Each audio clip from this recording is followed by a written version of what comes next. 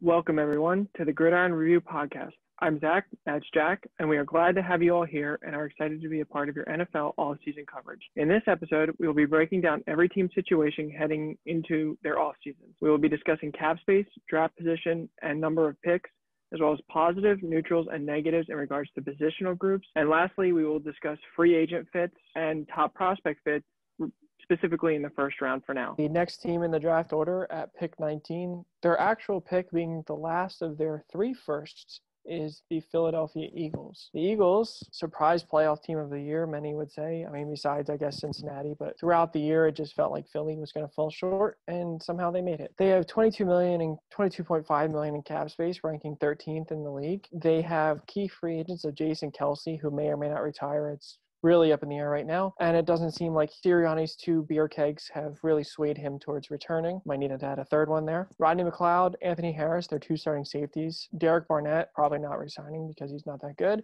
And Steven Nelson, who I believe is their third string like their third corner, sometimes two, depending on who's injured. As I mentioned, they have an extra two first with the Carson Wentz trade and the Dolphins trade up for Tua, I believe, is the other part of that. They have an extra second. They do not have a fourth. They have an extra sixth and no seventh. Positives on this team are the running backs. While they don't have any super, super standout guys, the way they run their offense it's not necessary. They have a lot of guys that complement each other well, and really, uh, they they were the number one, or I don't know if they finished, but they were the number one rushing team in the league for most of the year for a reason, and that's because I mean, I guess you could say Jalen Hurts a little bit, but we'll talk about him later. They really do a good job of putting together a committee that all works well off of each other tight end. Besides Dallas Goedert, who's a very fine number one, they have uh, Tyree Jackson, who seems like a positive developmental piece that if he could stay healthy, he may be a big difference maker at the number two spot. Maybe they add another tight end, a lower level veteran, or a mid round draft pick, but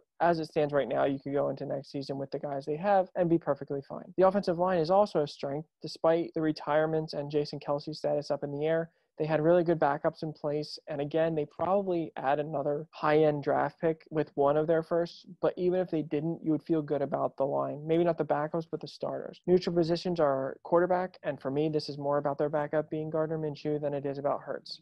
This is going to be a long, you know, I could go forever on about Hurts.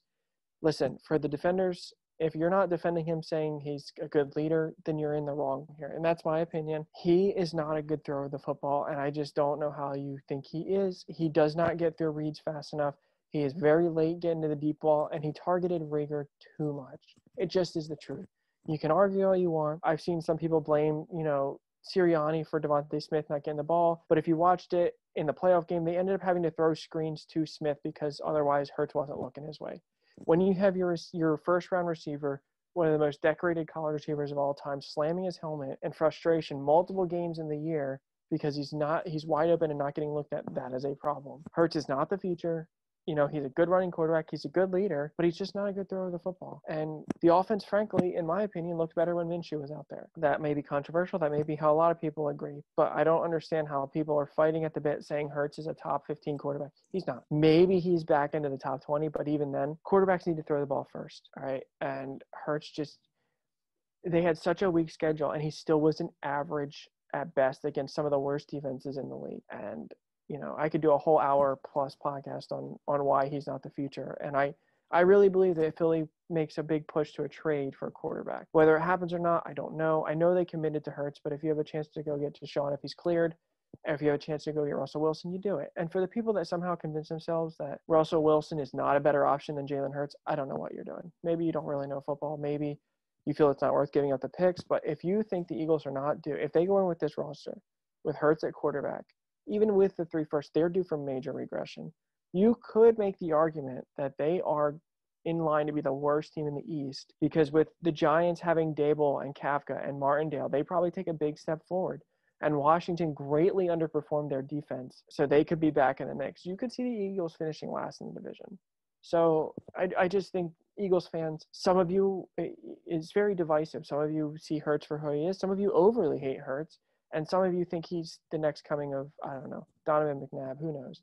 But it's just he Hurts isn't the answer. He could be a really good mentor to a rookie. He could start this year for a rookie, but really it depends on who you take. Anyone besides Malik Willis doesn't make sense. But anyway, that's a lot of ranting. Their defensive line is okay. Their tackles specifically are good with Hargrave, Fletcher, and Milton Williams, especially down the line, looked or down the stretch, looked very good. They could use an end slash edge rusher with Brandon Graham being super old and Barnett gone. There's one draft prospect that makes a lot of sense here if he's there, and we'll cover that in a second. And their defensive backs are their corners are okay. Darius Slay had a really good year, but beyond him, like a Maddox signed an extension, but how do you are you comfortable with that as a fan?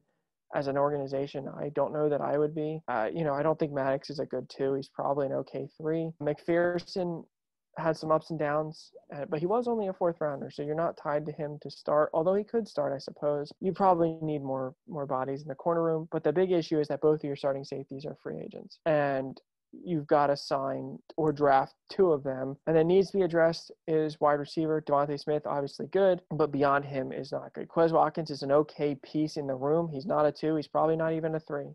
He's probably a very good number four. Uh, Jalen Reagor, everybody knows. Everybody knows. JJ Arcega-Whiteside, everybody knows. They've got to be gone. I don't know what you benefit from keeping him. You can trade him for anything.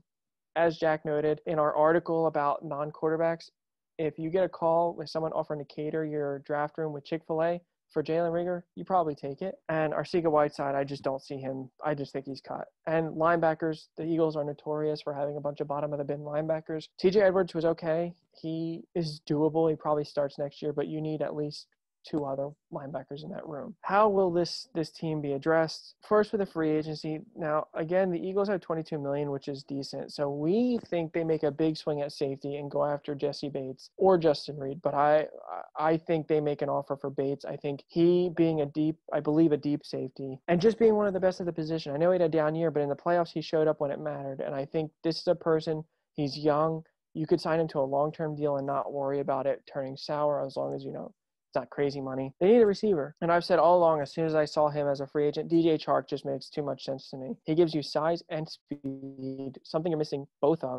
And if for whatever reason Chark is outpriced, because again, Chark is also very young, and he just, it just makes sense to me. I just get it done. But if for whatever reason he signs elsewhere because they don't want to catch passes from Jalen Hurts, I think that's going to be a problem for a lot of the free agents. Just saying, you might see that.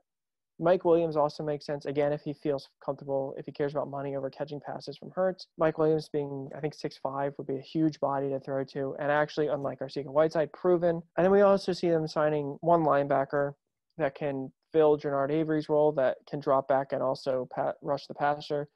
Uh, Anthony Barr as a veteran presence or as an upside pick, Vander Esch, plus you'd be plucking him from the Cowboys, which always is a good thing. In the draft, if he's available, George Karlaftis makes so much sense here. I could see them using one of their higher first to take him, maybe trading up a couple picks using a later pick at pair with it. Travon Walker as an inside outside versatility on the line. And it depends on how you feel about Jermaine Johnson, whether he can do that as well with the versatility. The big offensive line pick to watch here is Tyler Linderbaum. Uh, there was a report I saw where he's projected to possibly be a 10 year Pro Bowler right off the bat.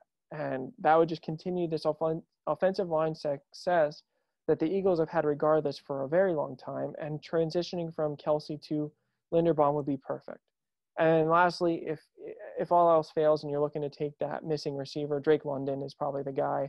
Assuming Treylon Burks is gone, London is six five. He he adds the size, and he should be what everyone hoped their Arcega Whiteside would be. And it's again, if you're really insistent on rolling with Jalen Hurts, he's a huge body that on the bad throws should be able to make the adjustments. Now, before we uh, move on to the next pick, Jack has some words to say about the Eagles. I'm sure. I mean, there's plenty to be said about this team and its issues and I think Zach highlights it pretty well is linebacker is rough. Defensive back is rough. I mean, I watched Maddox get abused towards the end of the year. I, am not comfortable with Maddox being my two, and I'm very skeptical skeptical of him being my three. But you paid him, so either he's got to step up, or maybe you got to get rid of him because that was not a good display of football he put on at the end of the year. I don't want to take uh, too much time to go over the Eagles. Zach did a very nice job of breaking them down, but I do want to circle back to the Jalen Hurts conversation. And for me, it dates back to college. Hurts is sitting in a room with a guy like Tua and wins the job. And I mean, as a Georgia fan, it's going to pain me to talk about this. However, there's a reason that Tua was put into the game in the national championship and put the dagger in Georgia. It's because he could throw the ball. And I get that Tua doesn't look like he can do that in the league right now. But when Georgia stacked the box and stopped Hurts, he's, he was a one trick pony. That that was when Georgia really had their time to try to steal that game. If not for Tua, Georgia probably has two national championships in the last five, five, six years. And as a Georgia fan, that's great. But you watch Tua steal that job from Hurts and at Alabama the following year. And to Zach's point, Hurts is a great leader. He's a great guy to work with because he was Tua's biggest supporter when even when he lost that job. But then you see him transfer to Oklahoma. And I'm sorry, Big 12 fans, but you guys do not play defense. Like anyone who thinks that Big 12 defense is relevant, like please stop talking. They're terrible, man. I mean, you guys put up like 60 a week that's just unacceptable. And I get maybe that's why people see college football as more enjoyable, but that's not the point here. Hurts went to Oklahoma, who had a history of quarterbacks like Baker Mayfield and Kyler Murray, and went on. Uh, I believe he won the Heisman. And maybe you saw something a little more from the pass game there, but as I just noted, the Big 12 doesn't play defense. So Hurts struggled to throw the ball against the SEC and then goes and looks like a real quarterback at Oklahoma but you're talking about two completely different ends of the spectrum in terms of college football defenses. And as he transitions into the league, I'm starting to see more of the Alabama Hurts than I am the Oklahoma Hurts because this isn't Big 12 defense. Hurts has a multitude of issues. And again, this is me and Zach's opinions. You don't have to agree with us, but yeah, Hurts didn't have the greatest weapons in the world. Yeah, you you gave him JJ Arcega-Whiteside and Jalen Reagor. Yeah, okay, that's that's a huge that's a huge problem. But you bring in a number one like DeVonta Smith, and to Zach's point, Hurts is out here forcing the ball to Reagor. And I don't know if we've mentioned this before, but I am not a huge Sirianni fan. So this isn't me trying to be biased. But if you are in the NFL as an offensive mind, I can assure you that Sirianni is drawing up plays that is getting DeVonta Smith the ball if the quarterback goes through his reads correctly. I get that Smith is small and he's not the alpha typical number one receiver that you might think of. Like when you think of ones, you think of Megatrons and Julios and D Hop. You don't think of of skinny guys like DeVonta Smith. But DeVonta Smith has some wicked route running and and release, and you saw that against top guys in college he put these guys on skates, and we see it. DeVonta Smith is getting open, and he's getting frustrated. To Zach's point, you don't see guys slamming their helmets on the ground for no reason. Just go back and watch Eagles games. Smith is getting open, and Hurts is either not seeing him or overthrowing him or or just choosing to go somewhere else. And we saw it at the end of the Tampa game. They had to force DeVonta uh, DeVonta Smith the ball on screens, and you can't be doing that in the league maybe it works in college, but you can't force the ball to people in the league. It you're gonna face the consequences of that. But even if you want to look at like for people who understand football better than others, all you have to do is watch Jalen Hurts. Forget the weapons around him. He's consistently leaving the pocket early. He consistently has his head down. He's not looking downfield. And the truth of the matter is, yeah, I get it. Quarterbacks are going to miss throws. But Jalen Hurts is missing wide open receivers in the end zone, and we saw it in the Tampa Bay game. His throwing mechanics are not there. His throwing mechanics have nothing to do with his receivers. The truth of the matter is, me and Zach are no quarterback, but I'm I'm pretty confident I could have hit an open receiver in the end zone.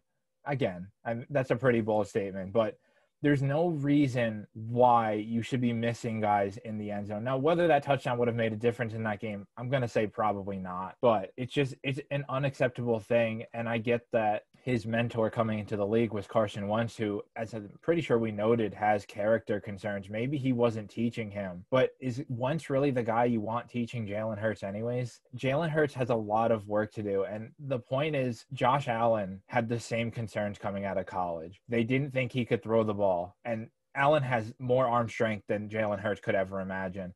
But look at the strides that Josh Allen has made in his first, I believe it's three three year Yeah, he's an MVP caliber quarterback. Yeah, his name wasn't in the race this year, but there's no reason it shouldn't be going forward. The dude can still run the way he did in college. He's still one of the best running quarterbacks in the league. And I get it, Hurts does that well. But there's no reason that Hurts can't throw the ball like maybe not to the extent of Allen, but at a decent um I guess a decent rate. I don't I don't know what the correct word would be there, but you just watch the guys that are making strides around the league who come out as running quarterbacks. And Hurts is just he's not making improvements. Everyone's like, "Oh, well, Hurts uh there's the stat that Hurts gets better every year." That might not necessarily be the greatest thing because if you're making big strides every year, that means that there's a lot of problems there. And to Zach's point, if you can go get a veteran guy like Wilson I have no issue with you keeping Hurts because someone like that will mentor. Like Wilson is one of the best guys in the league. He will absolutely mentor Hurts the way you need him to. But Hurts needs to be willing to put in the extra work in the offseason to improve the way that guys like Josh Allen did. And I don't know if Zach has anything to comment on further. All right, so moving right along, the next pick is the other Pennsylvania team. And I apologize for this podcast episode, but we are about to just abuse the Pennsylvania teams because the Pittsburgh Steelers, the fact that they have been in playoff contention the last two years is a joke. It's an absolute joke. They are the worst 11 0 team of all time. Before we start seeing smoke come out my ears, I'm going to just start talking about the team. They have $32 million in cap, which ranks ninth in the league. Their key free agents are Haden, Juju, if we want to consider him a key free agent, Trai Turner, multiple backup receivers such as James Washington, Ebron, Terrell Edmunds. This is a team that has no fifth from we believe it was the Joe Schobert trade and an extra seventh. So I mean, pretty much just a, a, normal draft. The running backs are obviously a positive here. Najee showed out in his first year, and you have solid backups like Snell and McFarland behind them. Tight end is a positive. Freiermuth looked really good in his first year. When he was out, Zach Gentry didn't look too bad. Maybe a guy you take a shot on, maybe with that extra seventh round pick, but it's not something that needs to be addressed right away. In terms of the positions that need to be addressed right away, it's quarterback. Very, very obviously quarterback. And I mean, Zach and I talk about the quarterback carousel almost every day now. And Zach brought up a good point the other night about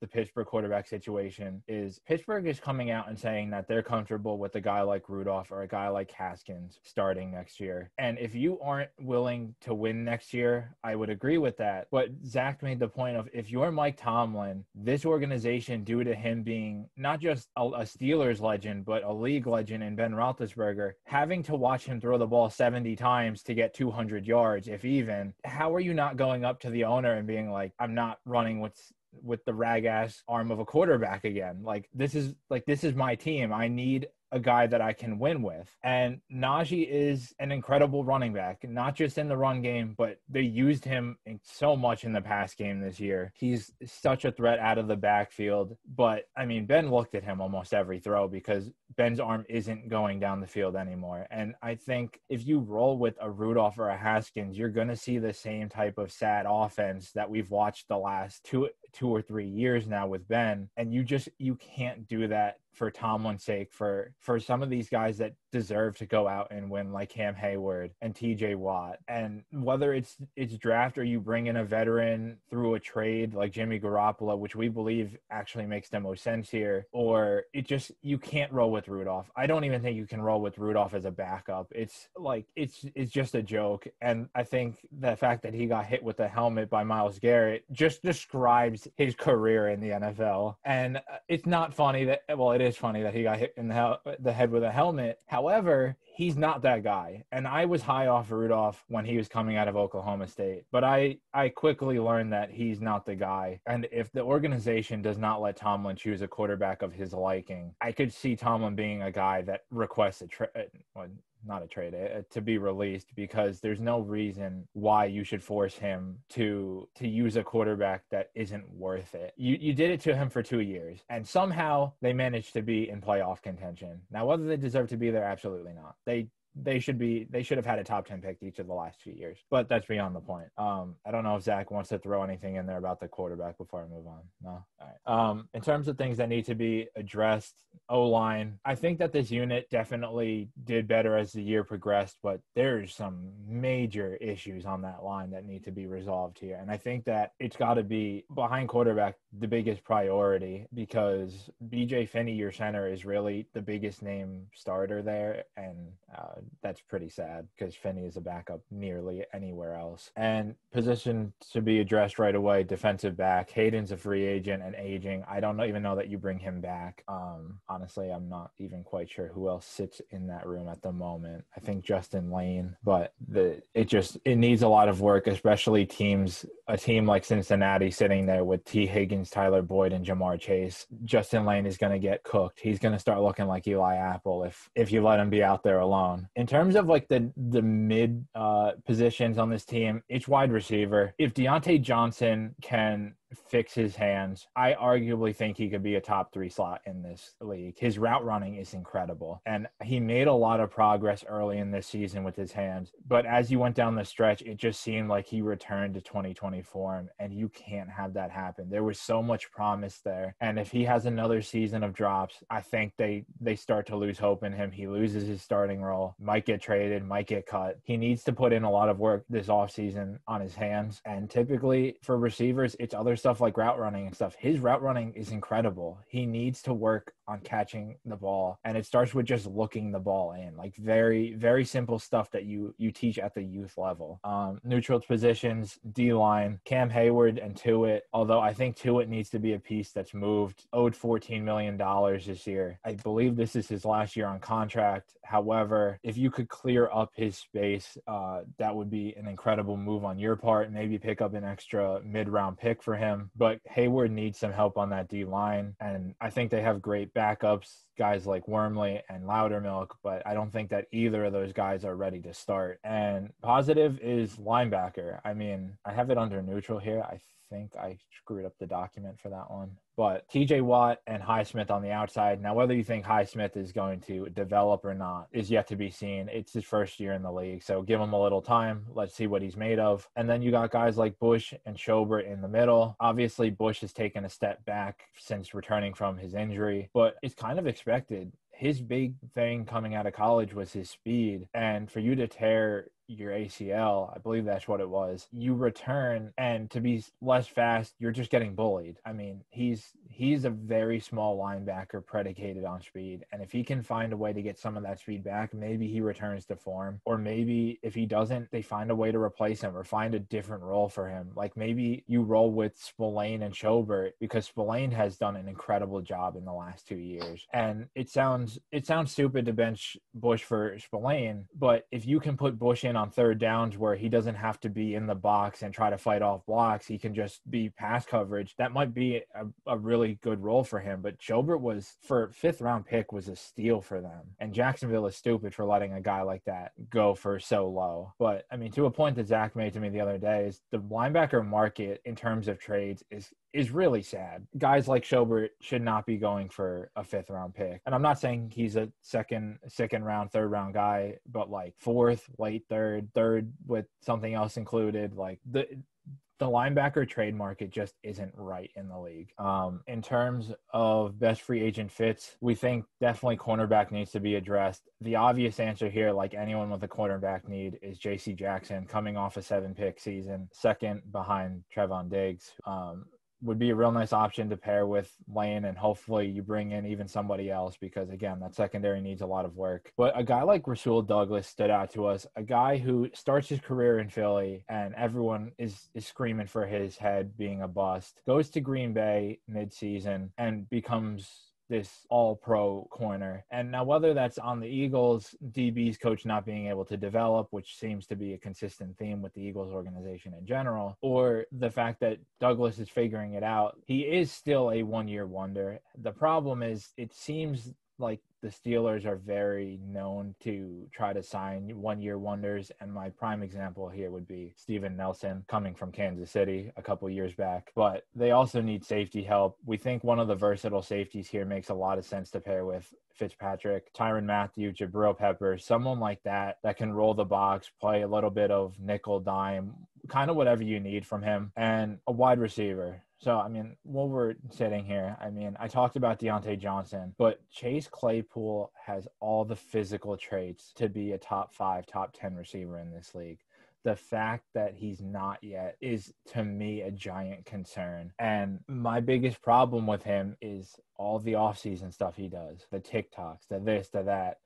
And I think that goes to the people that he's worked under. Since he's come into the league, his his mentors have been Antonio Brown and Juju Smith Schuster. Antonio Brown, I don't even need to go into that. I mean, the dude took off his clothes and started dancing around MetLife like it was Dancing with the Stars. And Juju is apparently is this TikTok star that some people only know because of TikTok. Why is that why Chase Claypool got into TikTok? Who knows? But that's not the point here. There's guys like AJ Dillon who are on TikTok, but it, it's not why they're known. Dillon is more known for being the backup of arguably one of the best running back rooms in the NFL. There's guys you can be on TikTok without having that be your claim to fame. We think that in free agency, you have to bring in a veteran guy to mentor Claypool, not just on the field, but off the field. Like, get him to be the receiver talent that everyone knows that he should be based on his traits. A guy that can teach him the ways of the game, as Claypool, when he was coming out of Notre Dame, was what they were calling a project receiver. Um, in terms of the receiver room still needs to be addressed. There needs to be someone out there with Johnson and Claypool. We think a guy like Gallup makes a lot of sense. Uh, a deep threat type guy, uh, big on the outside uh, with a decent amount of speed, or even a cheaper uh, high upside pick like Christian Kirk. A little bit, as Zach has, talked about him before, can do a little bit of everything. Could be a nice guy for whoever your quarterback is. In terms of the draft fits, um, we think that it could also be quarterback. Um, maybe you use your first round pick to trade for one of the big name guys on the market. Uh, if you don't, if Willis is here, it seems like the Steelers are very high on Malik Willis. Personally, if you think that this team is going to take a step back, then yeah, Willis might not be a bad option. But if Tomlin is under the belief that this is still a team that can win now and make the playoffs and make a run, it needs to be one of the more ready quarterbacks. And to me, and I know Zach here more thinks it's Willis if he sits here. I I personally think it's Howell. Howell is a six one quarterback, so he's not all that tall, but he's a pretty well built quarterback. He's really strong. I think that in terms of how he stands in the pocket and shakes guys off from getting a sack. You could see maybe remnants of Big Ben here. However, unlike Big Ben, Howell brings a rushing aspect to a team that, with a rushing quarterback, could make this one of the most explosive offenses in football. If you let Howell sit back there and run RPO with Najee, it opens up holes. I mean, you couldn't run RPO with Ben. If you run RPO, you gotta your your linebackers have to read that. You open up things for slants like Diontae Johnson and Claypool coming across the middle. This offense could be opened up so much more with a guy like Howell or even with Willis if he's sitting here that has the ability to take off. Um, in terms of other draft fits, if Linderbaum is here, I, I don't think he gets past Philly, but if he does, makes a lot of sense here. You could move BJ Finney to guard or so, something. It just there needs to be pieces added to this offensive line. And if you want to go defense, maybe it's a guy like Devonte Wyatt. He had a nice senior season with the Bulldogs in Georgia. He went out and had an incredible week at the Senior Bowl. And maybe, depending on how he tests, he becomes a guy that isn't necessarily too much a reach here. And you compare him to work with uh, Cam Heyward on that defensive line. But that's all we got for the Steelers. And Zach, take it away. At pick 21, we have the New England Patriots. They have the 19th most cap space with 7.3 million. Their key free agents are longtime starting safety Devin McCourty, Trent Brown, J.C. Jackson, Ja'Whaun Bentley, Dont'a Hightower, and James White. They do not have a fifth or seventh round pick, but otherwise they have everything else and no extra picks. Their positives are quarterback. Obviously, Mac Jones had a very good year above what people thought. Whether his upside is capped is unknown. However, he probably starts for a couple years going forward at the least. Their running back room with Damien Harris and Rhamondre Stevenson is pretty strong. They probably add a pass catcher, but really it's it's a good one-two punch. Their tight end room with Hunter Henry, Jonnu Smith, and Devin Asiasi and Don Keene is very strong. Now I think Jonnu Smith might be moved, but even without him, Hunter Henry and Devin Asiasi is a good one too. Then their offensive line is strong with Trent Brown, a free agent. You'd think they re-sign him. Even if they don't, it's still a pretty good group that they probably address the tackle some other way. Wide receiver is a neutral position. They have a lot of bodies. However, they're missing that clear alpha. And if they add that, then it suddenly becomes a pretty strong group with Kendrick Bourne and uh, Jakobi Meyers and Nelson Agholor. They have a nice room going. They just, like I said, they're missing that big presence. The defensive line is the same way. They have a lot of depth pieces. They have a lot of role players, but they're missing that edge setter or that you know their their tackles are Godchaux and Barmore, but at the edge on the outside they're missing that elite pass rusher. And they haven't had one for a while, so they might not even address it. They might just keep rolling with a bunch of rotational guys. And their defensive backs, they without McCourty, they're missing a clear deep safety. They have a few uh, box safety slash linebacker hybrids that probably don't play both of the safety spots. So you'd have to wait and see how they figure out. Maybe they just resign McCourty on a friendly deal to keep him a Patriot. It's unknown at the moment. And it needs to be addressed. Their linebacker room, they're losing their two inside backers. Their outside backers are okay beyond Judon. Just two things I wanted to mention is Anfernee Jennings and Josh Uche have kind of disappeared after being pretty decently high draft picks for the Patriots. And I'm just wondering like whether they actually have a role this year or if they're just going in another direction. As far as free agents go, Christian Kirk, he's not the, the alpha that they need, but he's another receiver that, you know, Belichick and the Patriots crave versatility and Kirk can be slot, he can be deep threat, he can be inside outside. It makes a lot of sense. And if they don't decide to go after a big guy, I think they sign another middle of the road wide receiver to just make it a room full of guys that could get the ball at any moment without someone clearly there to to focus on. Hassan Reddick slash other edge rushers make sense. Yeah, I don't know that they can afford Hassan Reddick. Again, they only have 7.3 million in cap space, and that's without resigning any of their guys. So if they're going to go edge, I see them taking a chance on a guy that used to be, or we see them taking a chance on someone that used to be a highly touted prospect and draft profile and had a few good years, but has kind of trailed off, and that's Dante Fowler. He's still, I believe, 27 or 28, and as everyone knows, he was once a very high pick. And maybe Belichick and the Patriots unlock the most of him. Who knows? In the draft, we think they, I mean, the first, the first has got to be wide receiver. Drake London, Treylon Burks. Now, maybe we're getting too far back to take one of them. They might be gone by now, so I still think they look wide receiver, but we haven't done enough study to figure who who is probably the next man up if you're looking for like a size guy at the uh, X receiver or the outside receiver. And then if they decide not to, they just probably add another depth piece at on the D line. But everyone knows the Patriots. They probably draft. I mean, they probably trade back, or maybe they just trade out of the first completely. Um, it, there's a lot of questions. Belichick spent a lot of money last year in free agency. I don't think he does that again. I mean, he can't, but I also think that was a weird thing. And unless they clear cap space stuff, they're not going to be making any big moves. So we will have to see what they decide to do. And we're going to keep the ball rolling with uh, Jack. Go ahead. The next pick in the draft is the Las Vegas Raiders. Um, first note is they should probably move out of Vegas with all the NFL players dealing with issues in Vegas. Um, but assuming they stay, they have 21 million in cap, which ranks 14th in the league. Uh, key free agents include primarily depth pieces in terms of starters. Casey Hayward, Jonathan Hankins, Quinton Jefferson are all guys that you lose uh, KJ Wright as well. And we were talking, uh, that seems like a free agent signing that should have had a little bit more hype around it. We didn't even know that he was on the team. But you lose depth uh, pieces like Zay Jones and Solomon Thomas, who really seemed to break out this year as a role player for the Raiders, and Mariota. And it just seems like, for the most part, the starters, now whether you consider them starters or not, like the receiver room, are intact. It just seems like you need to go get depth for, for most of your players places. They have an extra fifth and no sixth. Their positives are the backfield. Carr had another really nice season. And as we talked about in the Coaching Carousel podcast, like I truly do believe that Josh McDaniels has the potential to be the best coaching hire of this year's group.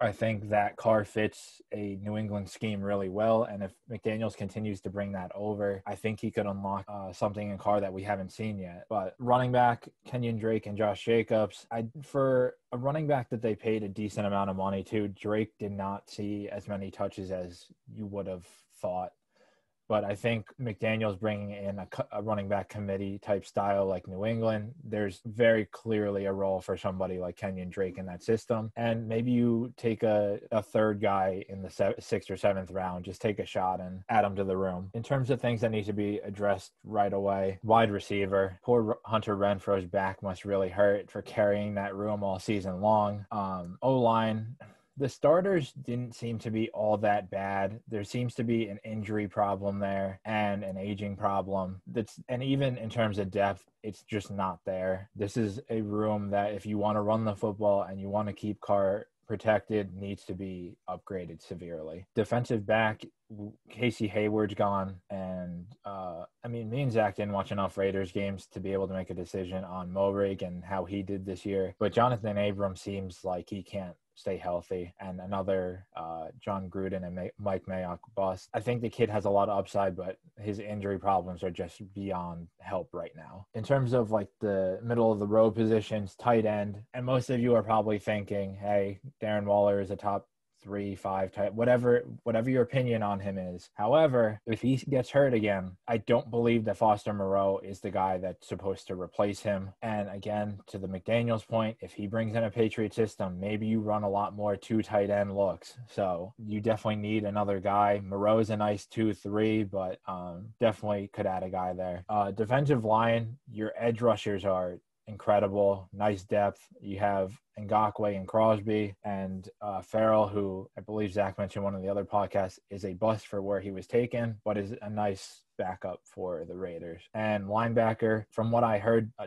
Divine Deablo had a very nice rookie season. You still have guys like Littleton and Nick Kwiatkoski who were signed in the same offseason there as backups or guys that could take on maybe that third starting linebacker role. Denzel Perryman uh, brought in from Carolina and ended up being a Pro Bowler this year. It's a, a, very solid room to say the least. Maybe you're missing a starter or maybe you're missing a big name there, but not necessarily the biggest of needs. In terms of how we think it'll be addressed in free agency, this is a team that screams Davante Adams. First off, the Raiders would have to clear a little bit more cap, especially depending on what Adams is looking for, but they need an alpha one, and clearly Adams is that. And I don't know how many people know this or not, but Derek Carr and Davante Adams were teammates at Fresno State. For Adams, with all the question marks in Green Bay, is it Rodgers? Is it Love? Is it whoever? Maybe he walks away and finds a quarterback with familiarity on a team with, with what we saw this year, a lot of upside. If it's not Adams, I still think you got to look at a receiver here. Maybe someone like Allen Robinson, um, big bodied guy, can be the one and he's got enough experience in the league where maybe he can teach a thing or two to someone like Bryan Edwards who might be able to work his way into that number two role. And this one's a little bit out there, but as I mentioned a couple times already, if McDaniels brings in this Patriot two tight end offense, someone like Mike Gesicki could make a lot of sense here. I know that he's not the best run blocker, but if you um, if you have him as a two and Waller gets hurt, now he's your one, and he brings an, another element to the pass game. And for a team that needs receiver help, it just it brings a different perspective of how to fix the issue because I get that Renfrow is a slot, but if you can have Renfrow on the outside with Waller and Gesicki in the slots of a two tight end formation, that solves the issues in just a different way. In terms of draft fits, we think you might look receiver here. Even if you look for a receiver in the free agent market, someone like Garrett Wilson, who brings a little bit more speed to his game on the outside. I know I've mentioned him a couple of times already, but Devonte Wyatt, if he's still sitting here, this is about where he's supposed to go. The Raiders are going to need a lot of help inside to take the pressure off Crosby and Ngakoue. This is the guy that could do it. And without film, it's hard to tell where the corner rankings stand, but Sauce and Stingley very clearly are out of the picture at this point. However, maybe if Booth falls or a guy like McDuffie or McCreary, if they're still sitting here, maybe you take a shot on them because right now Hobbs had a very nice rookie season. I mean, he got arrested for, I believe it was DUI, another reason why Las Vegas needs to move. Um, but Hobbs, Hobbs can be a starter in this league from a football aspect. And Trayvon Mullen is another guy they have in that room. A standout at Clemson, just hasn't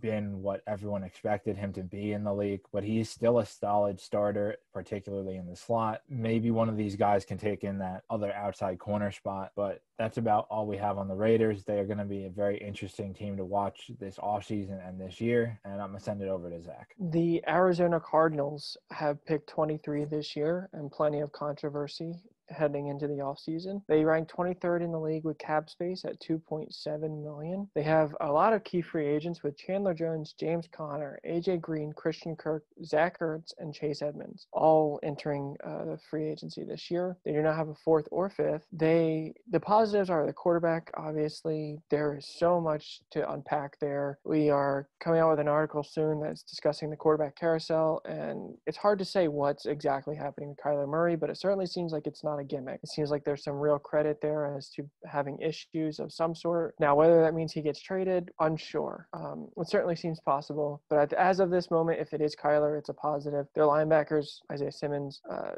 Collins, and others, it's a very strong group, and maybe they can add another rotational pass rusher. But for the most part, it's probably going with the same group that they have now. And then the defensive backs, their two safeties are good. Their third string safety is fine. Their corners are okay. You could probably use another corner in the room, maybe a veteran presence. But for the most part, it's doable. They don't necessarily need to make a, a big move at it. Uh, neutral positions are wide receiver, more because they're losing multiple of their pieces. They have Hopkins, Rondale Moore is a gadget, as Jack has noted with when we've talked before. And Andy Isabella, hard to say whether he's going to be anything in this league or not. But without AJ Green and Christian Kirk, you're missing your outside guy, one of your outside guys, one of your versatile guys. So you need to find a way to address this. Maybe it's in the draft. Um, maybe you don't really have a lot of cap room to sign one in free agency. So needs to be addressed. Running back, both of your starters are gone. Uh, Eno Benjamin has not shown to be anything more than a depth piece. Tight ends, both your starters are gone with Zach Ertz and didn't mention Maxx Williams, but he is a free agent as well. And the defensive line is pretty shallow with some aging guys like JJ Watt that are hurt a lot. So you gotta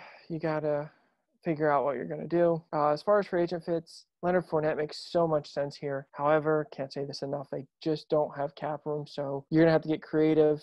Um, Leonard Fournette is the only running back that can can fill both the Conner and Edmonds role in the free agency, we feel, as the power rusher with better upside than Conner, as well as the pass catcher. Whether they actually feel like it's a big enough need to pay up for him, it's unknown. If not, Leonard Fournette, Melvin Gordon can fill the James Conner role, but you still need to find a pass catcher or at least a complement to Melvin Gordon. Can't say it enough. They're not signing anyone without clearing cap. In the draft, we assume that all the top tackles will be gone. So you're looking at one of the second tier offensive tackles. We haven't really studied them enough, but if you if you like one enough, go get him. If it's not, then you know again, if Linderbaum we keep using his name, drafting a center or predicting a center's pick is hard to to say. I am assuming, and Jack I think would be as well that if he he's gone by now, if he's not, they got to jump on this pick. And again, wide receiver, they they're losing a bunch. They can't resign them most likely, so you might be looking to replace them with a first round pick. Pair Hopkins with whoever, Garrett Wilson, Jameson Williams. Pick your guy and run it back, and just hope that you just grow as a team that is overall pretty young. Uh, there's not too much more to say the Cardinals except that they could be making a huge splash move. There's rumors that Rodgers could go there, although it, to us it doesn't make a ton of sense. Uh, if they're unhappy with Kyler and they make a dramatic move, it'll be a crazy offseason already. Uh, but if they stay put, they're probably going to make the playoffs again. Now, whether they actually are Super Bowl bound, I don't think so. Not with losing the pieces they are and the inability to re-sign them. So they're going to have to figure out something. Um, but we are going to go with uh, America's team. Jack, you want to take it away? In the wise words of Stephen A. How about them Cowboys?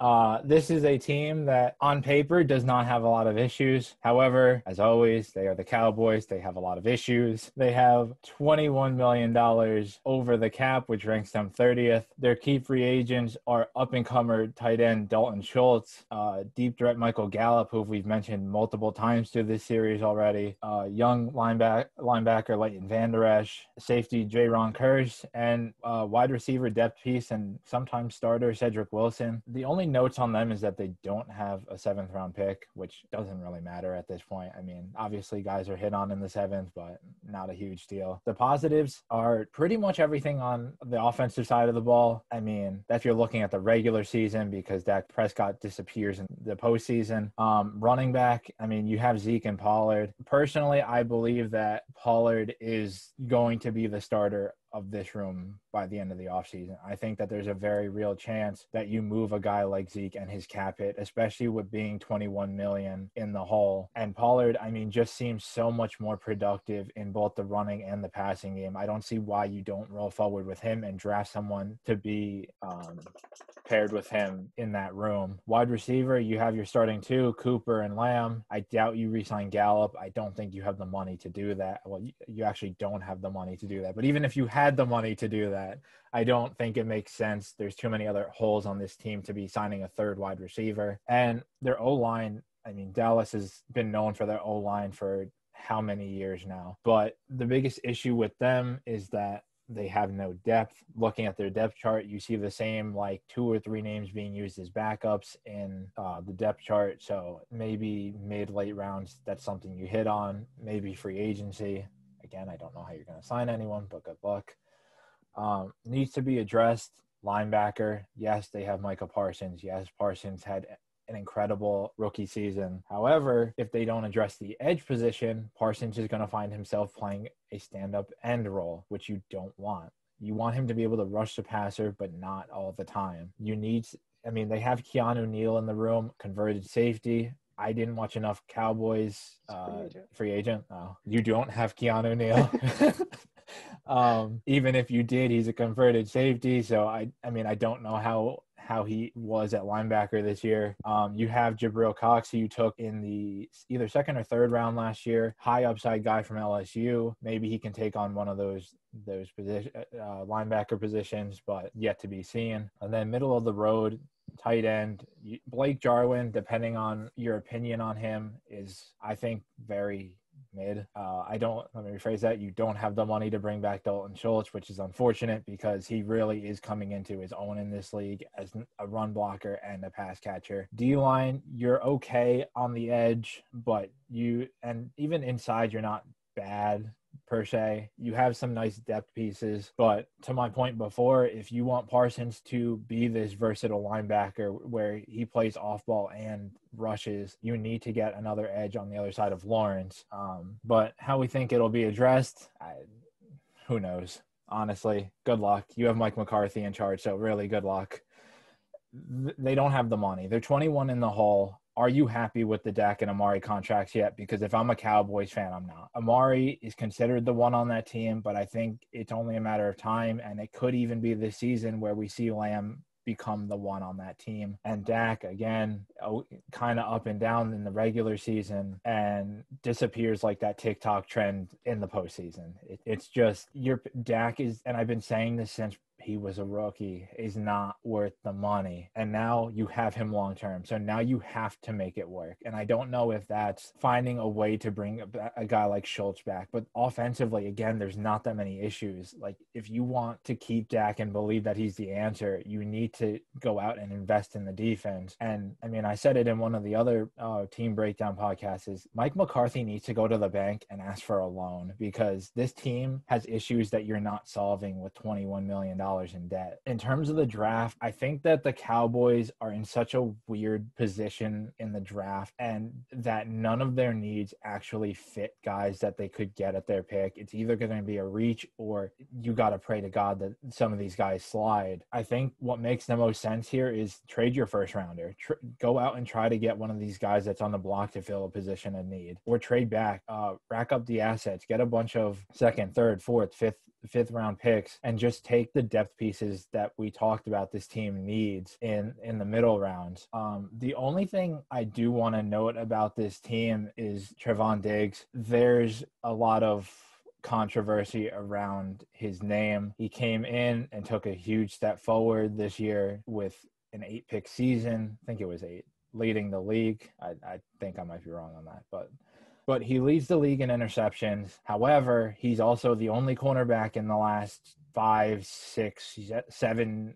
I, don't know the exact stat. I heard it was five, but I feel like it might be longer than that. But the first corner to give up over a thousand yards receiving. So yeah, you're getting the picks, you're getting the turn, turnovers, but is it is it worth the liability? Diggs is a converted wide receiver, so yes, he doesn't have the experience at the position. Can can he improve? Absolutely. There's there's nothing saying he can't. He could come in next year and actually be the number one corner in the league. The problem right now is people are debating whether he's overrated or not because his game relies on him getting interceptions. To me personally, he's a liability. He's not he is not a top cornerback in the league. The problem is that you look at guys like Jalen Ramsey and he doesn't have the, the interception numbers necessarily uh, because he's a lockdown. You're not you don't just I mean maybe the the Bengals did, but you don't look at Ramsey to look at Ramsey. Like that's you're waiting for something bad to happen. Diggs reminds me of like a Marcus Peters where like yes he's gonna get you those interceptions but he's also gonna give up yards every time he doesn't get the interception. Dig i'm not saying you trade diggs but i think a transition to safety makes a lot of sense here because diggs is a ball hawk. He knows how to read the quarterback's eyes. He's he's always looking for ways to bait the quarterback, and that's exactly what a safety does without necessarily the responsibility of having to man a guy like DeAndre Hopkins or Julio Jones or Justin Jefferson or take your pick, whoever your favorite receiver is. Diggs can't handle that responsibility, not right now at least. And if you transition him to safety, I really do believe that he could become a top safety in this league. Let him man the middle of the field. It seems like he has the speed to to get to the outside on fades and stuff, but it would be mind games for him. And as a guy who played receiver, he knows the inside and outs of receivers. He knows what to look for. This isn't a guy who um, has played in the secondary his whole life. He has offensive experience. He knows the keys from both an offensive and a defensive mindset. And I just think that it's something that needs to be considered because it makes all too much sense for a ball hawk. Peter, the guys like Peters, yeah, all pros, Pro Bowls, whatever. But that was also based on on interception numbers. Look look at how, where Peters is now. I mean, he's hurt, but he's a number two, and I mean his name isn't really thrown out there with top corners anymore because they realized what he was. The year that Xavien Howard won or was up for Defensive Player of the Year, I can't remember if he won it, but he had the pick numbers as a clear number one. He was a mix of lockdown and and interception numbers. That's what you want from a number one corner. But that's all we got on the Cowboys. And uh, yeah, with the 25th pick in the NFL draft, uh, the Buffalo Bills sit with uh, about a million and a half under the cap which ranks them 25th in the league. They have uh, a few key free agents, including Jerry Hughes, Mario Addison, Emmanuel Sanders, and Isaiah McKenzie. The notes on their draft picks, they have an extra sixth and an extra seventh. When going through their depth chart, we agreed that the quarterback is obviously very positive. Wide receiver was a positive, but could use some depth guys with guys like Emmanuel Sanders most likely retiring and a guy like Isaiah McKenzie possibly walking. You definitely are probably going to be missing a guy there, even with Diggs and uh, Gabriel Davis. O line, the starters are fairly strong, but it's a group that we believe needs some depth behind them in case of injury. Linebackers, Edmonds and Milano are arguably one of the best duos in the league at the backer spot. And defensive back, we thought is definitely a positive. They could definitely use some depth at corner. I mean, we saw the issues that they ran into when Tre'Davious White went down. They became Swiss cheese. Um, we didn't think that there was any position that needed to be addressed like immediately, but we did think that running back tight end and D line were uh, the weakest of the position groups. And the D line isn't even that bad. The edges, there's plenty of depth after going after guys like Boogie Basham and Rousseau last year. And I think it's just primarily getting another guy inside, either that can rush or stop the run, just um, someone to solidify the inside. How we think it'll be addressed.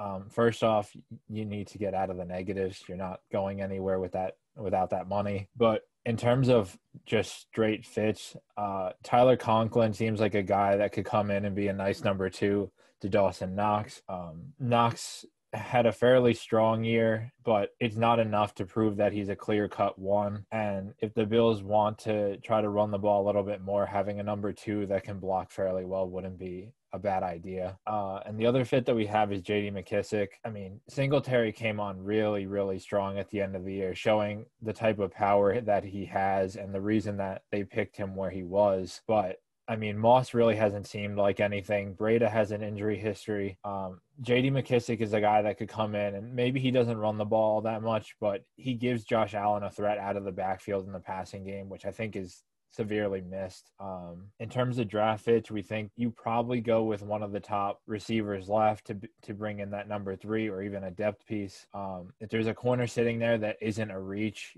maybe you you go for that and bring in someone to match with uh, White and Wallace. But the truth of the matter is, the 25th pick for the Bills is is a luxury pick. They can really do with whatever with it and eh, feel pretty comfortable with where they're heading next season. I think they bring back most of the starters. I mean, again, Sanders it just seemed like he didn't have much in the tank this year. McKenzie's a nice gadget and returner. It would be nice to see them bring him back, but you got to clear the money for that. And Hughes and Addison, Hughes has been a leader on that team for years now, but I don't know that you bring him back. I guess it depends on if he wants to come back on a veteran friendly deal. Addison led the team in sacks, but with guys like Rousseau and Basham probably ready to step up, I don't I don't know that it's worth it. But Zach, you have any other notes on the Bills? Uh, just something we're not projecting trades at all However, the Bills have been heavily linked to Christian McCaffrey. And in the same way that McKissic makes sense, uh, we could see them just adding gadgets because really they have the elite one. They have an emerging wide receiver in Gabriel Davis and Beasley, and they're missing like like a McKissic or a McCaffrey or you know if they let McKenzie walk, it, they're missing just just pieces because really the offense is pretty set otherwise. Um, and then going forward, we have the Tennessee Titans, the good old number one seeds getting bounced in their first game Tennessee Titans, and their cap space is actually in the negative with negative 6.6 million, which is 27th in the league. A majority of that is going to Ryan Tannehill because they pushed all this money back to try and bring in Julio and and uh, how do you feel now? I forget the exact cap hit on Tannehill, but it's something nuts. They are losing Ben Jones, Jayon Brown, Harold Landry, and Rashaan Evans. So basically, they're starting linebacker room minus, you know, if you feel like David Long is a starter. They do not have a second. They have an extra fourth, and they do not have a seventh. Positives are obviously Derrick Henry. Even with the injury this year, he had a, his, he was a lead top five in rushing yards until well into the season, despite missing ha- over half the year.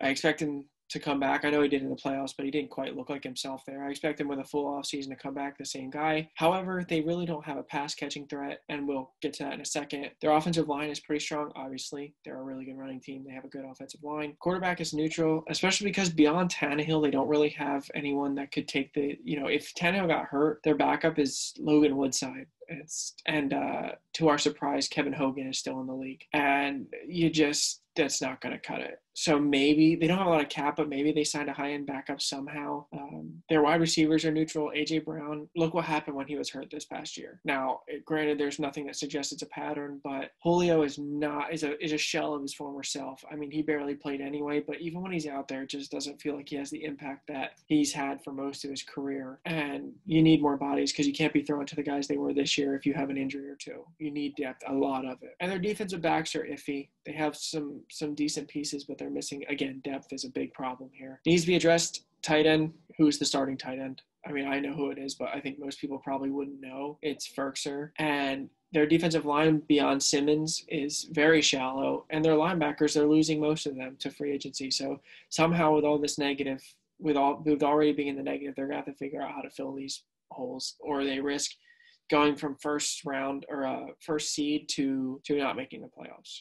Uh, as far as the free agent fits, again, with the money, JD McKissic makes sense here, just like he did for the Bills. He would be the perfect complement to Derrick Henry. You can't, you don't worry about him taking carry or, uh, yeah, carries, and he would just be a gadget. You know, one year he had 80 catches, and you're missing that in the room right now. Dalton Schultz makes a ton of sense as well, but we don't know how you afford him. And the same thing with Harold Landry bringing him back. Harold Landry probably wants to get paid, I would assume, but you just, he's going to get a lot of money. And if not Landry, a lower end edge, maybe like a Dante Fowler or someone along those lines that is not going to command a lot of money. As far as the draft goes, uh, we have Devonte Wyatt as an, a member on the D line to help out Simmons or a wide receiver to help AJ Brown because can you really count on Julio at this point? Maybe he plays a quarter of the season. You're happy with that. If he gets half a season, maybe you're really happy with that. Uh, that's really all we have on the Titans. Jack, uh, you want to go with uh, a team that's had a lot of news in the offseason? Yeah. So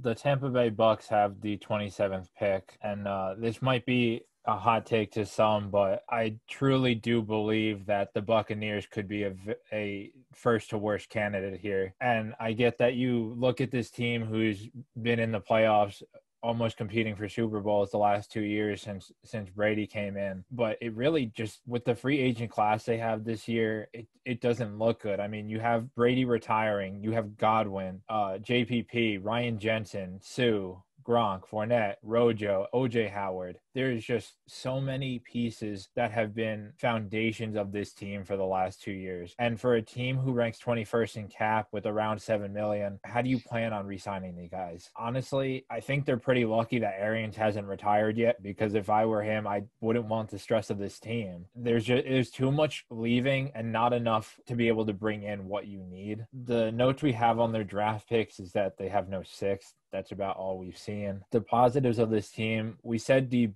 and we get that the really only like true name in this secondary is Antoine Winfield Jr. However, these other guys that may not be at a star level yet are all very, very young. Um, there's plenty of room for growth there, and the potential to be one of the best young secondaries next year with another year of development. Positives: linebacker, you lose in G, uh, JPP, you still have Shaq Barrett. Uh, Joe Tryon will step into the JPP's role if you don't bring him back. So, I mean, first round talent, don't don't lose much there. At least he has all his fingers. Um, Devin White and Lavonte David in the middle of the field. I mean, that's, I mean, I talk about Buffalo with Milano and Edmonds. White and David might be arguably the best in the league at what they do. Um, in terms of things that need to be addressed, if I told you last year that the Bucks would need a quarterback, would you believe me? No, probably not.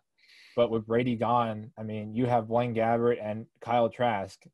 Trask couldn't even win his high school starting job what is this man going to do for you? Uh, maybe with a couple years, he becomes an average backup. But for right now, you need to to find an answer here. Um, in running back with Fournette and Rojo, maybe you bring Fournette back, but it just seems like Rojo was in the doghouse all year. I don't know that Arians is going to want to bring him back, even if he wants minimal money, which I don't think is the case. But um, tight end, you still have Cameron Brate, and I think he's an okay starter but obviously I think you got to add someone to that room. Gronk is either going to go somewhere else or join Brady in retirement. OJ Howard has just been too injury prone for me to want to resign him. Um, D lineman, again, uh, Suh is on uh, free agency this year, and you have Vita Vea, but really outside of that, you're not looking at much of a room there. Some depth pieces, and you're probably missing another starter now. And then in terms of neutral positions, O line, I mean, this has been one of the best O lines in the last couple years, but with Jensen on free agent and maybe not being able to bring him back. Um, but they're primarily neutral because their depth is nearly non existent. And I think we saw that in the Eagles uh, wild card game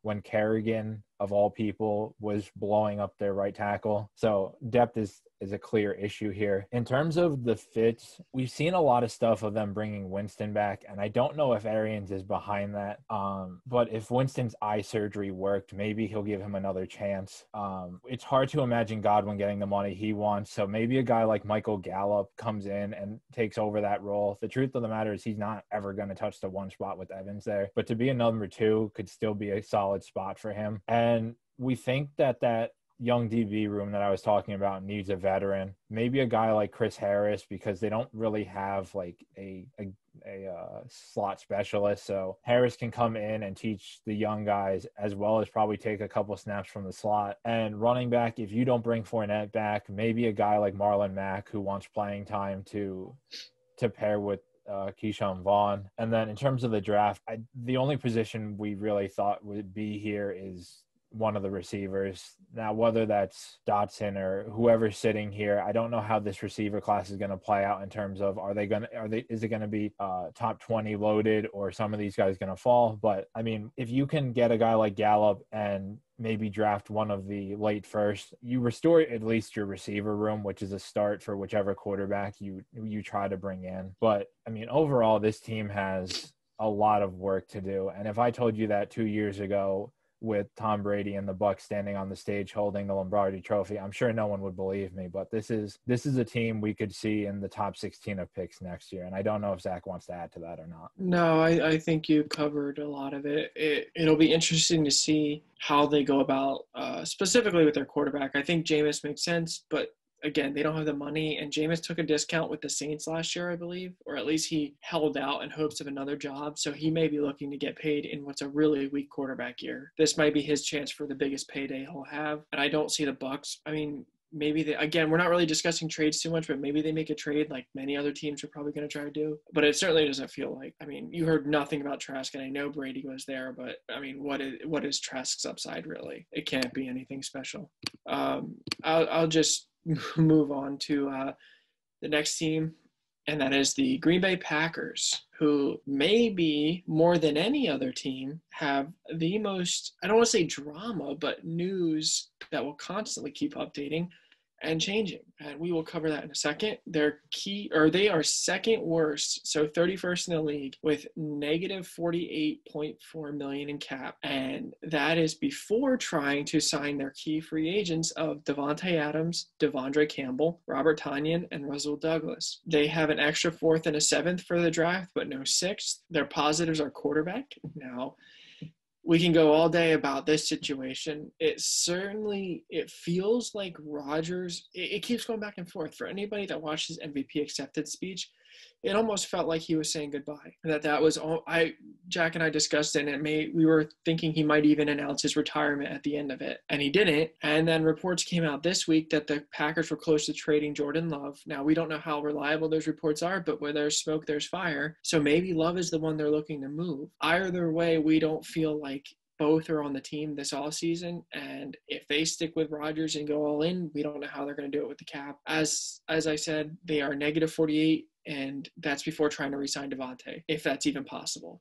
Anyway, besides quarterback, which again we could spend forever talking about, their running backs are very strong. Aaron Jones and AJ Dillon are as good of a one-two punch as you'll find in this league, and they pair they complement each other very well. Their offensive line is one of the big things they're paying on their team, and they're they show out for it. They're a very good group. Their linebacker room is strong on the outside. Rashan Gary, Za'Darius Smith, Preston Smith. However, there are reports that one or more of them are going to be leaving, either being traded or cut, so that might change in a hurry. And their inside with De'Vondre Campbell, I don't see how again, I don't see how they resign him is pretty weak behind Krys Barnes. Their neutral positions, their defensive line starters are decent, but they don't have much depth, and their defensive back starters are okay, again, without depth. They need to be addressed the wide receiver without Davante there. And I mean, even if you want to go further, Marquez Valdes Scantling is a free agent. So then you're looking at your starters being uh, Allen Lazard and Amari Rodgers. You think about that what you will it needs multiple people, but can't, you know, with what cap? Their tight end room is also weak.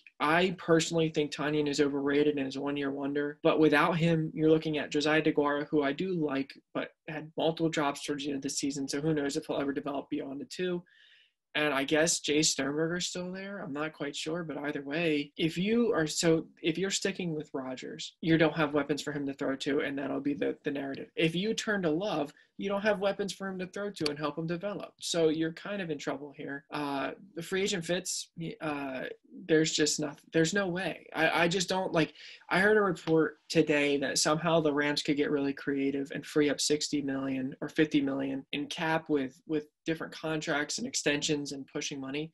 If the Packers do something crazy like that, they're still barely in the positive to, to sign anyone. I just don't. I, I don't know how you you get it to the point where you're able to sign free agents even with you know funny cap stuff as people say I, it's it i don't know I, I don't know i don't see they're in trouble no matter what if they especially if they re re up with Rodgers they could look they could be looking at a same situation in two years that where they're 80 million 70 million and in for like a four or five year rough stretch as far as the draft goes if you couldn't tell, we think they have receiver needs. Um, we'd probably put tight end here, but we don't think there's a tight end that's that's worth even a first round reach. So it's probably whichever receivers are left over of the top group, or if they're gone, you could use Quay Walker on the defense. Um, it should be one of the more interesting free agencies in recent memory and off seasons in general for the Packers. So Packers fan, uh, we hope you're ready. But we will uh, keep chugging along here. Jack, go ahead. Uh, before I start with the next pick, I just wanted to circle back to what Zach was talking about with the quarterbacks. And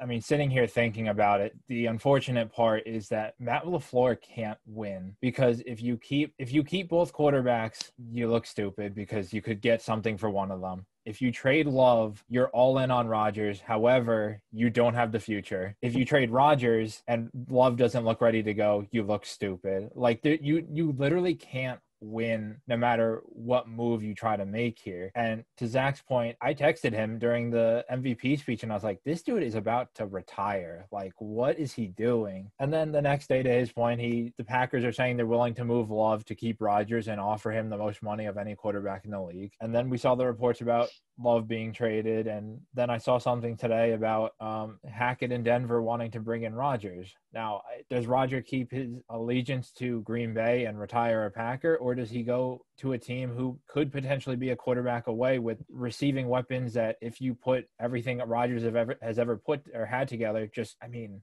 maybe that's a bold statement, but has better receivers than Rodgers has had in the last five or six years. But I just, I think it's a really bad look for LaFleur if you trade either one of them or either way to to the point of the cap is whoever you keep you're not bringing in weapons. So this team is another one that could probably go from uh, first to worst. Like i don't i don't know what your plan is here but moving along the san francisco 49ers have the 29th pick this year sitting with a whopping 3 million in cap. They rank 23rd uh, their free their key free agents are mostert Laken Tomlinson, who I re- heard reports is trying to sign an extension after his Pro Bowl caliber season. And yes, I get it. The Pro Bowl doesn't mean anything anymore, but it still proves that you're among the league's best. And Butterhands Jaquiski Tartt is also there. Um, in terms of draft pick notes, they have no first. Um, hopefully Lance works out for you. And they have an extra third for tr- for losing the Rodrigo Blankenship lookalike. Um, in terms of their depth chart,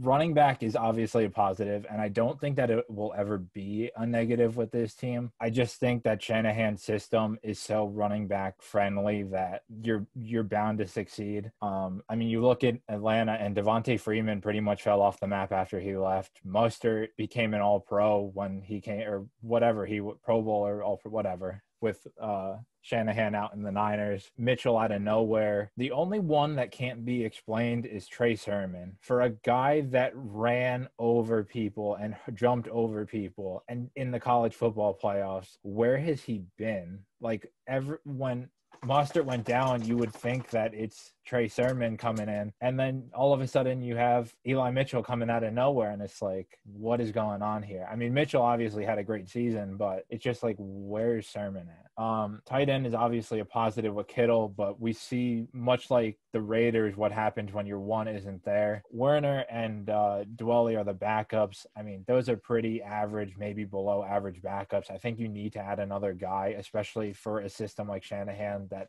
runs a lot.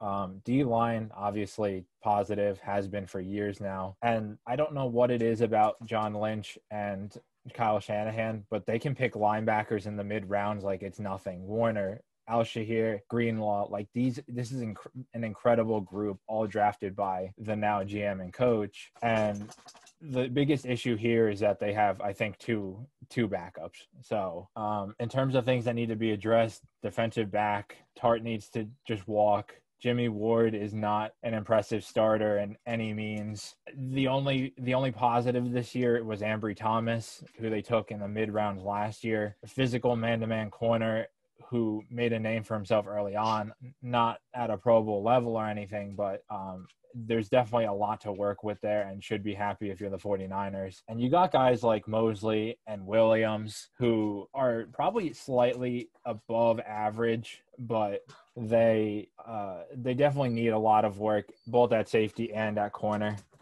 Um, in terms of the free agent fits, uh, you need money to do anything. I heard they're trying to re-sign Tomlinson, but again, you need money for that. But I mean, even if you walk into the playoff or next season with the same team, you probably find a way to make the playoffs. It just seems like Shanahan is that type of a coach.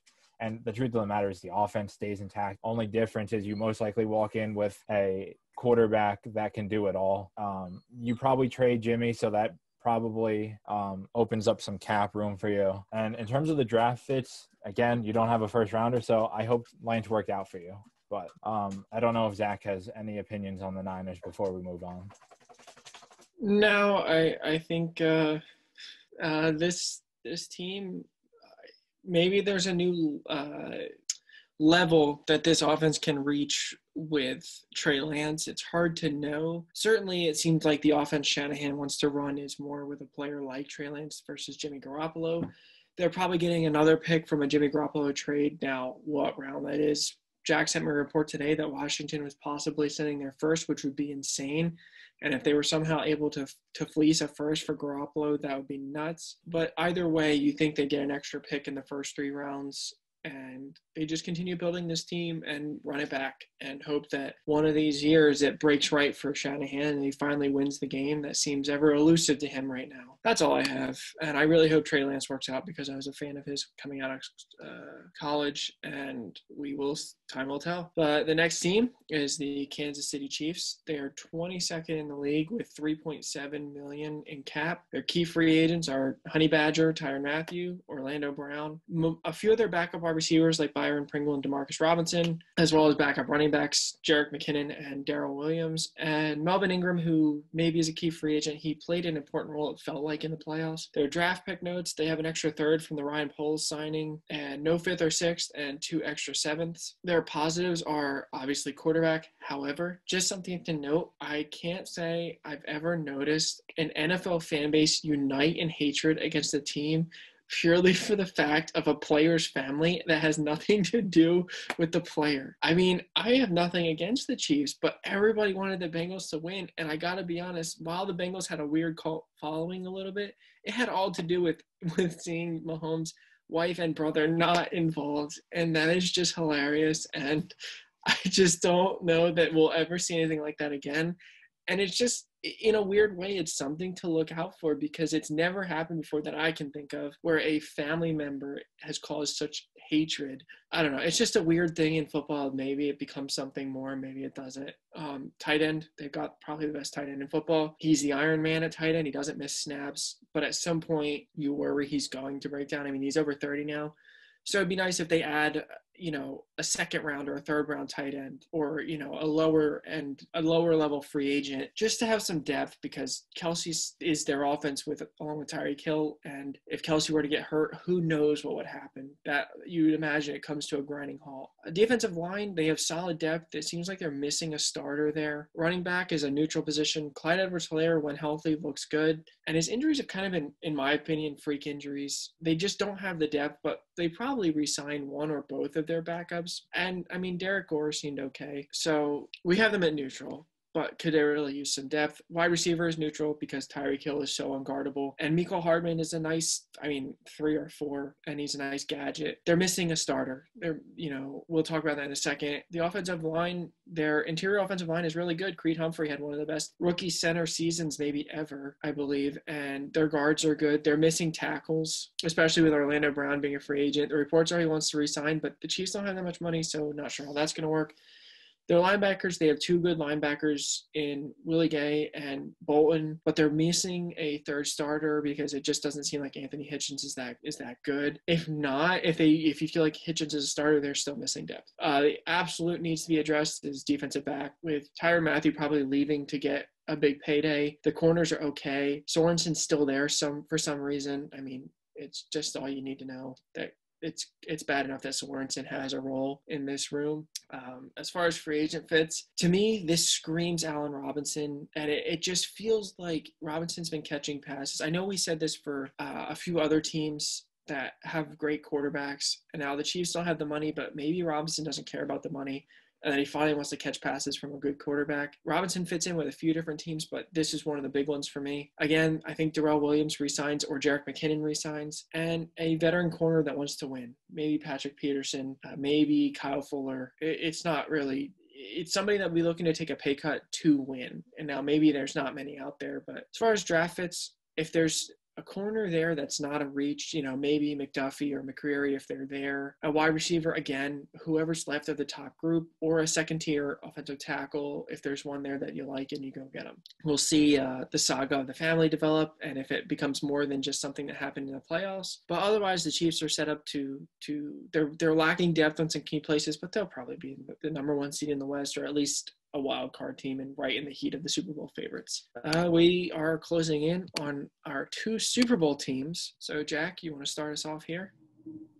I would just like to say, Chiefs fans, you better pray to God that the Juju Smith Schuster rumors aren't true. With the 31st pick sits the Cincinnati Bengals. Um, this is a team surprisingly that has the fourth most cap room in the NFL this year sitting at around $49 million. They have some key free agents, though, in Jessie Bates and CJ Uzomah. That, Zach, that doesn't count. Riley Reiff doesn't count. um, positives, obviously, quarterback running back, especially with the emergence of Perine. Um, obviously not a starter in this league, but a very, very nice backup for Mixon. Receiver, that's got to be arguably the best trio in football, especially with the Cowboys losing Gallup. I don't think there's anyone that can come close to that. Um, D line, nice depth at the end spots. Um, nice starters inside. However, you do need some depth moving forward. Uh, Reader, a guy that very strong in the run, doesn't generate enough pressure, in my opinion, to to play three down. So maybe you get a rusher inside that plays situationally. And their linebacker room is pretty strong. Wilson has come into his own as um, one of the best coverage linebackers in the league, and Pratt is showing out uh, as well. So it's possible that they're missing maybe a starter, maybe a couple depth pieces, but overall, that's a pretty strong room. Um, neutral, we said was tight end. I think Uzomah gets re-signed. I think it would be hard to see a guy who really stepped up in a leadership role when they got into the playoffs just let him walk. But behind him is uh, Drew Sample. I don't know how he's developed. He he might be a good backup, but maybe you, you just add someone to the room in case something happens to Uzomah again. Needs to be addressed. I don't think it needs to be said. Offensive line, defensive back. Um, Eli Apple is burnt toast. Vernon Hargreaves has zero awareness, and the O line is I'd say Swiss cheese, but that that doesn't even do justice for how bad this team, this offensive line is. Um, in terms of free agent fits, you got to think that the Bengals at least offer Jessie Bates an extension. I don't see how you can let him walk. Um, Bates has shown to be one of the top safeties in this league, and if you have 48 million in cap and just let him walk, that's really not a good look on you. Unless there's something behind the scenes that maybe we don't know, but it would be on the surface like a really bad look for this team. Um, minimal, you need four linemen. that's just to cover the four sp- starting spots that aren't Jonah Williams. I mean, max. I mean, you probably sign four starters, four backups, uh, maybe five, maybe trade for somebody. Who knows? Um, and in terms of, I mean, I guess the team in general, guess maybe the corner room a little bit more than anything. A veteran who wants to win. Again, to Zach's point with Kansas City is maybe Pat Pete, maybe Kyle Fuller, but any guy who's who wants to come win for cheap would be a nice addition to a team that really wasn't supposed to be in the position that they were this is a team that, for the most part, everyone thought was going to be fourth in their division. Here they sit at the 31 pick. Um, in terms of draft fits, um, cornerback, if not a reach. And uh, again, if you could draft three O linemen with one pick, I would do it. But to Zach's point, if you could choose a, a sixth round lineman at the 31st pick, I'm sure they would be better than what they had last year. Um, that's that's the only notes we have on Cincinnati. I just wanted to throw in an interesting stat I saw. I was on Twitter and I saw that Andrew Luck was trending. I was like, oh, this is I, I wonder what this is about. And it was a bunch of people comparing Joe Joe Burrow to Andrew Luck. And one of the the stats that I saw was that in their first 30 games respectively, Luck was sacked 73 times. Burrow was sacked 102 times. First off, that is a 30 sack difference for the same amount of games. Second off, if you do the math, Burrow played 20 games this season He was sacked 70 times, 19 of which were in the playoffs. That is three less sacks taken than Luck in 10 less games. If Luck was feeling the pain that badly to want to retire, what is Burrow going to do? Burrow already has the torn ACL. He already was screaming in pain at the Super Bowl. This is not a guy, and I do not like Joe Burrow, so there's no bias here. If he is your franchise quarterback, you need to protect him at all costs. And I was talking to my dad, and he said that there was a report that the Bengals O line coach said, Well, our offensive line got us here. With a little extra work, they could take us to the win. Absolutely not. Did 103 sacks in Burrow's first 30 games. The stats speak for themselves. This dude needs to be fired just for the words that he said because Burrow, uh, I think the official diagnosis was an MCL sprain, and that's lucky because if it was his MCL, it could have been a tear, and all of a sudden now you're really looking at a potential Andrew Luck. You and I know we joked about hey you you should sign nine nine free agent linemen and draft three with the 31st pick, but in all seriousness, you need to protect this guy. And again, I do not like him, but I do not want to see this kid get hurt because I mean he's one of the future quarterbacks in the NFL that are going to replace legends like Ben Roethlisberger, like Eli Manning, Rodgers, Brees, Brady. The AFC is stacked with young guys. Lamar, uh, Deshaun Watson, if he ever clears whatever the hell is going on there. Josh Allen, Mahomes, Justin Herbert. The only difference is that the Chiefs after they lost the Super Bowl, invested money into their line. The Bills have money invested into their line. The Chargers have money invested into their line. These guys are doing everything right, and the Bengals are sitting here letting Burrow get killed. And if they really do not address the O line position in the way that it needs to be addressed this offseason, if I was Joe Burrow, I would sit out in the offseason until either they sign me some linemen or or trade me because I'm not going to kill myself for this team. And I get that Burrow might be a team player, but not if it means your career is cut 10, 11, 12, 13 years short because your knees literally are made of nothing anymore. Um, I know that was a long rant, but I don't know if got, Zach's got anything to add to that. Um, I just wanted to say I looked it up and it was actually Zac Taylor that said that about the line, not the offensive line coach, which is worse most likely. I mean, if I'm a Bengals fan, if I'm Joe Burrow, I'm hoping it's just coaches speak because he was saying that they can scheme better, call better plays, but like, what are you gonna call? It's not Ghostbusters. You know, you you just anybody that watched that game, look at the last play of the game. You double team Donald and it doesn't work. That's a problem. Joe Burrow, Ramsey fell down. If Burrow has two more seconds to get to the read, it's a touchdown, and maybe the Bengals just win this. Maybe that's a walk-off touchdown. The Bengals win the Super Bowl whole different story. But he didn't have the time. When the game mattered most, you knew who was going to be giving it all. Aaron Donald, how how if you're the left guard and the center, which I believe was where the double team was, how does he get through? Let someone else beat you. And yet he went right through him. It took no time at all. I know Donald's an all-time great, but like this highlights the problem. You two of you can't even hold him away for 3 seconds.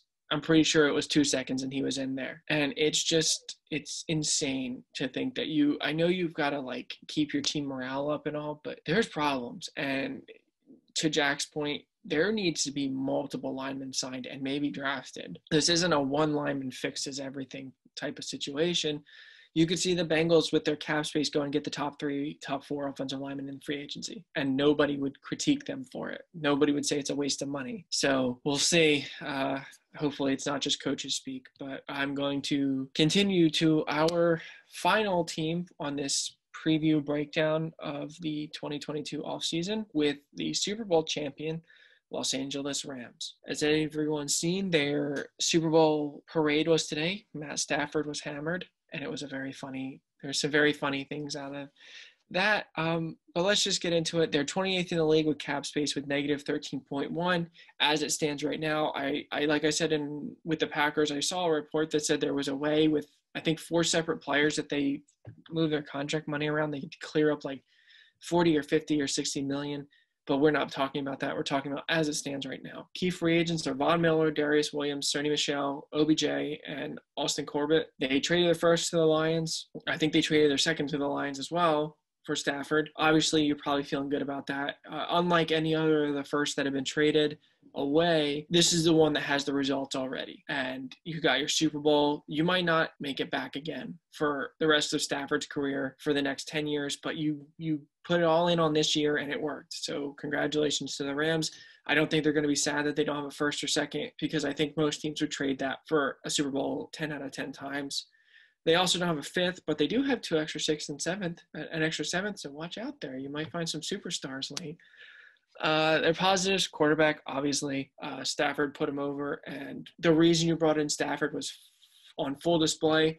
I mean, by now, a lot of people have probably seen the no look pass to Cooper Kupp on the final drive. It's just like mind blowing to think of the spotlight that was on and this man had the nerve to throw a no look pass to Cooper Kupp for, I think it was a 20 yard play. And nobody even noticed it at first. I, I didn't see it until two days later when they started realizing, hey, this is how crazy this was. Do you think Jared Goff makes that play? No. Heck no. This isn't a bash Jared Goff session. But the point is, you've got your quarterback for the next probably three seasons unless he retires quickly, maybe even longer. And I hope to see Stafford put together four really strong years or three really strong years and show that Detroit really is a black hole and that he's actually one of the best quarterbacks in the last 20 years. Hopefully. That's that's the goal. Uh, wide receiver, obviously Cooper Kupp, otherworldly season. Uh, I believe I saw all time, including the playoffs. He had 500 more yards than the next closest receiver. He had one of the best regular seasons of all time, one of the best playoff runs of all time, and a crazy good Super Bowl where when it mattered the most and they needed the game winning touchdown, he caught three targets in a row. The first one he caught and took a headshot, but it got called back to offsetting penalties. Dumb. The second one, he got held by everyone's favorite burnt toast, Eli Apple. And the third one, he he juked out Apple again because why? I don't know. Because it's Eli Apple because for some reason they they thought the ball was going anywhere else. I, I don't know but Kupp was there. He made the play. And I think he even had four catches or five catches on the final drive. Um, I'm a huge Cooper Kupp fan if you can't tell. But besides him Robert Woods should be back. And Robert Woods is a very good number two. Uh, Van Jefferson looked extremely weak when it mattered most. And Skowronek anyone saw the interception, what was that? I mean, you just basically handed the ball to the defense. Uh, he just in the playoffs in general, he looked really bad. He had a drop against, I think it was the Bucs. That was just an ugly, ugly drop. So I wouldn't be surprised if he's not on the roster next year. They need they need one more body, probably number three, so that uh, Van Jefferson Van Jefferson slides to the four or the five because it just doesn't seem like there's anything there right now. But you could do that with a third round draft pick. You could do that with a guy that takes a huge pay cut to win. Tight end is, you know, they're not the best group out there, but if this playoff showed anything, they're they're very good with depth. I mean, beyond Tyler Higbee, there's uh, I'm blanking Brycen Hopkins, and I there's a third stringer that really stepped up to the playoffs, and his name is escaping me. And obviously, their defensive line is really good. Again, something where the depth really showed off in the playoffs when they needed it. A'Shawn Robinson, Greg Gaines, these kind of guys that they picked late or was just not a superstar are starting to come into their own. And Donald today at the parade, I believe it was, said he wants to run it back. So if he means it, that's a huge sigh of relief, I'm sure, for all Rams fans and for the Rams coaching staff. Neutral positions of the running back. Look, Cam Akers, it's a great story coming back from his Achilles tear and his, the amount of time that he did, but he just didn't look good at all. To me, he looked, even when he wasn't fumbling the ball and trying to give the game away, he looked non explosive. He looked adequate at best. I mean, to me, Sony Michel looked better, and Darrell Henderson is a nice backup, but he's hurt all the time too. So you need another body there. Uh, the offensive line, pending a few factors, including Whitworth's retirement, is neutral. It could be good if Whitworth comes back, um, among, I believe, uh, Corbett. But you could also, again, the Rams are in a position now where people will be taking play, pay cuts to play for you. So they could fill out the line without an issue. The defensive backs, the starters are decent. They have no depth. Um, they have no depth at all. But this is the way that the, the Rams built this team it's a win out all one year. This is what you're going to have to deal with.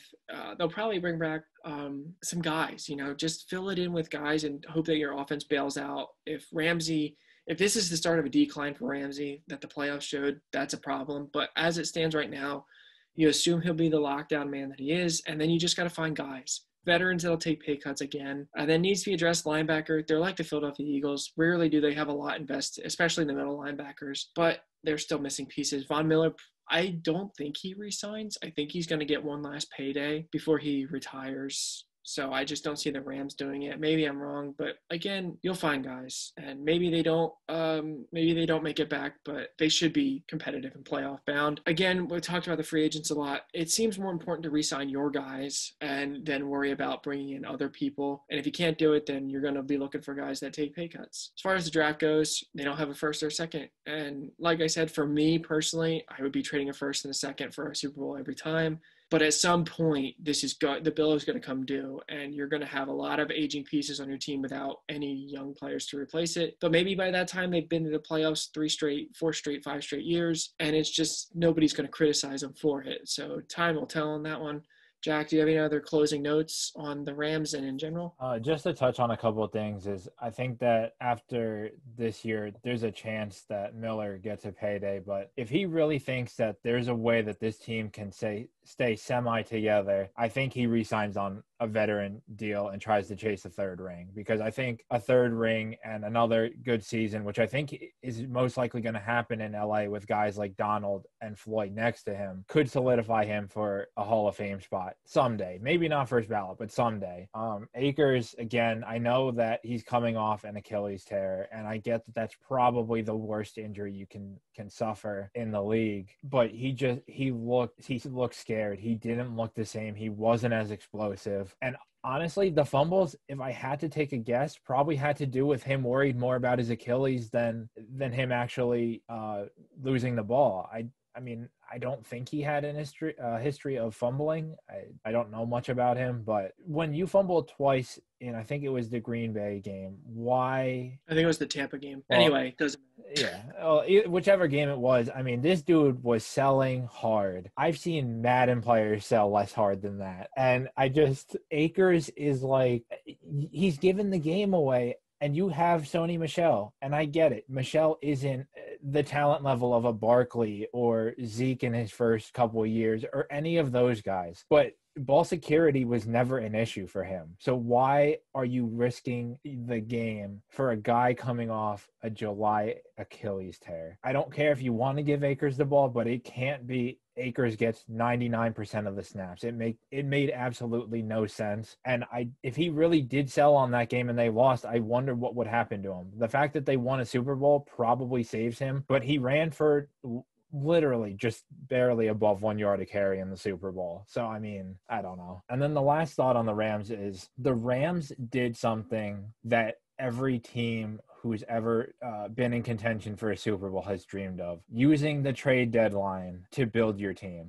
Miller and OBJ came in right in around the trade deadline, and there's teams who year in and year out make moves to try to make that to make that push and no one succeeds. The rams i get it. You don't have a first and you don't have a second this year. You don't have a fifth. And i god only knows what you're missing in the next three years combined from all these trades you're making. But to zach's point at least you have the extra seventh. You'll find something. Um but the, they unlike the Saints who didn't use the trade deadline, they just invested money and money into their team for a Super Bowl. And I get they got screwed over. It seemed like seven years in a row, um, but they weren't able to complete the mission. The Packers, they I mean, with the exception of Adams uh, and the receivers room, they invested money into everything else, and they couldn't do it. You watch all these teams either invest money or trade for these key star- these key guys, and it doesn't work out. And the Rams are the first team, I think, in history to win a Super Bowl by building in the way that they did. And I mean, the one thing I note is like Matt Rhule trading for Stephon Gilmore because he thought they could make a playoffs.